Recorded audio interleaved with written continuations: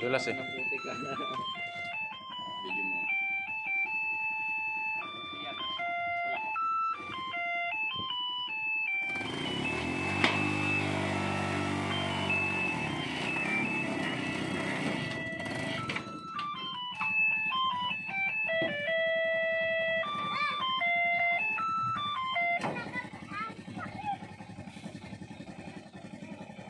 Yan. Akit yan, akit.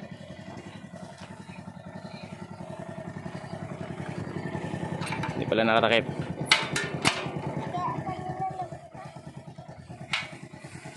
May pala ba doon kila lula mo? May pala? Salah kasi yung pala yan. No? Kalimutan kasi yung gamit eh. Buka na Sam.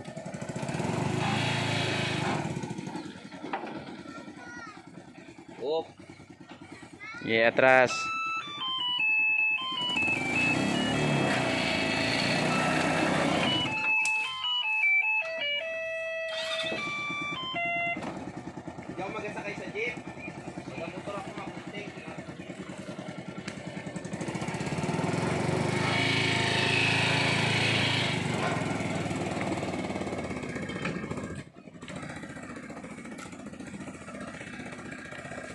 Nakakatuwa mga mix yung mga bata oh.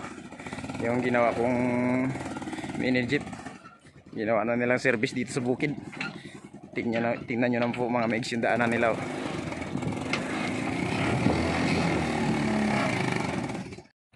Ayun po, pupunta po sila sa labasan mga mix para bumili po ng ice. Malayo po kasi yung tindahan dito. Doon pa po sa labasan. Kaya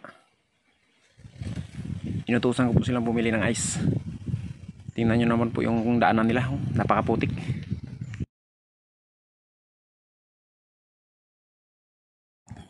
May nililiaut po kasi akong bahay dito ng kaibigan ko. Eh, nagpautos ako sa mga bata na bumili po ng ice doon sa labasan. Kaya lang po napaka layo pa po sa highway. Tingnan nyo naman po yung daanan. Oh. Sira-sira.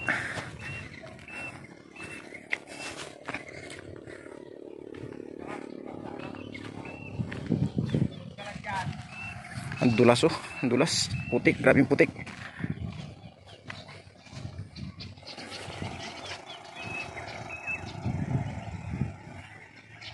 Dahan-dahan din po mga migs yung mga batang to sa pagpatakbo kasi napakaputik po talaga. Ay, sarap manirahan dito. Tahimik na lugar. Malayo sa kabihasnan. Malayo sa gulo. Malayo sa disgrasya dahil madalang po ang sasakyang pumapasok dito. Ang problema lang po mga miss i walang kuryente. Tapos ang ginagamit po naming pang welding buti na lang po may budget din po yung kaibigan ko na ano, nak nakabili po siya ng sig segunda mano na ano na generator. Ayun po kaya rin po yung welding machine kaya naitayo po namin yun yung kanyang bahay. Ah, tubo lang po yung ginamit namin ano. Ginamit naming poste tubo na di 4 schedule 40 po mga mix uh, ayun o malayo na sila. Babalik na ako sa trabaho.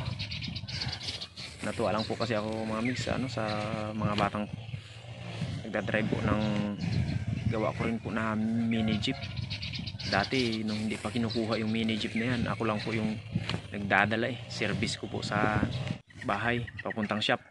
Yan.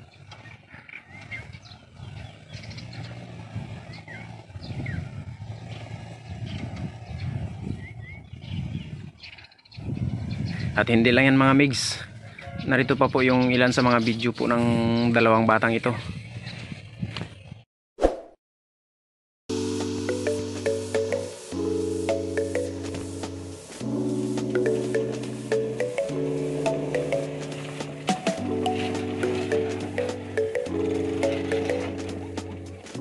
Ayan po mga migs, tuwang-tuwa po sila habang feel na feel po nila talaga yung sasakyan na para po talaga sa kanila. At kung mapapansin nyo naman po mga migs, yung kanyang kapatid Eh, halos napapasigaw po sa sobrang saya. Ah, nakakatuwa ang mga batang to.